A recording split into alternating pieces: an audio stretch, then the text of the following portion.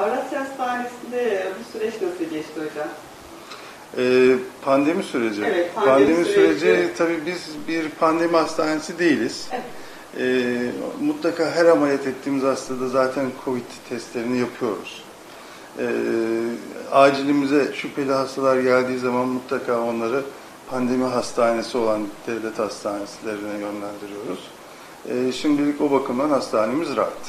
Dikkat ederseniz biz de konuşurken maske taktık şu anda. Takacağız ama tabii E, ki tabii program sonucunda. için e, maskemizi takmadık. Tabii sosyal mesafemize Evet, dikkat ediyoruz. dikkat Hijyen ediyoruz. kurallarımıza Evet. dikkat ediyoruz.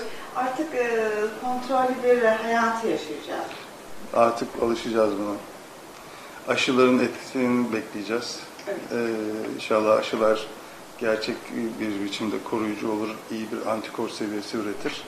Ee, öyle olursa e, ancak aşıyla tüm dünyadan bu hastalığı eradike edebiliriz. Peki bu süreçte ameliyatlar gerçekleştirildi dediniz. E, mide ameliyatları da Evet. yapıldı mı hocam? Tabii çok yaptık, Ee, yapmaya da devam ediyoruz.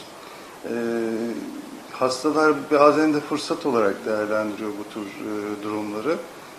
Nasıl olsa evden çıkmayacakları Evet. için e, hiç değilse bu ameliyatım olayım. Tek bu ameliyat için değil yani tüp mide için değil, diğer ameliyatlar için. Hani fıtığı var diyelim ki hastanın.